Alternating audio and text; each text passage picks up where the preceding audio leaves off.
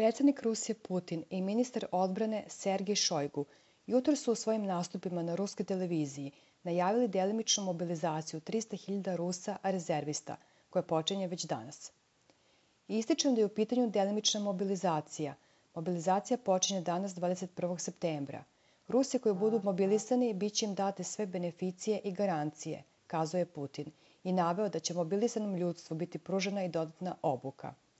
Da zaštitimo svoju zemlju i narod koristimo sva sredstva koje su nam na raspolaganju, je Zapad dao direktnu naredbu Kijevu da poremeti sve dogovore sa Rusijom, pozdravnute tokom pregovora, naveo je Putin. U prethodnim pregovorima predsednici Kijeva su veoma pozitivno reagovali na naše predloge i ti predlozi su se ticali bezbednosti Rusije, naših interesa. Očigledno je da mirno rešenje nije odgovaralo Zapadu. Posle postizanja određenih kompromisa, Kijev je zapravo dobio direktnu naredbu da poremeti sve sporazume. Ukrajina je počela još više da se puni oružjem, rekao je Putin. On je rekao da je cilj Zapada da oslabi i podeli i uništi Rusiju.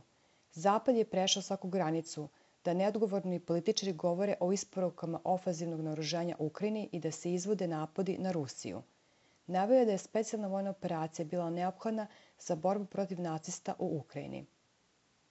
Podsjetimo, utorak su Luganska narodna republika, Donjecka narodna republika, Hersonska i Zaporoška oblast saopštile da će od 23. do 27. septembra održati referendum za ulazak u sastav Rusije.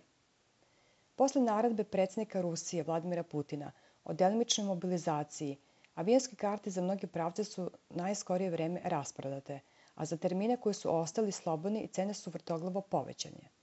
Među zemljama za koje Rusima ne treba viza su Crna Gora, Srbija, Turska i Jermenija, kako se sada saznajemo.